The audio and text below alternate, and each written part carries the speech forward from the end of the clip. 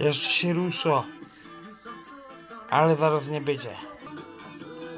O kurwa, kto jej skrzydełko urwał.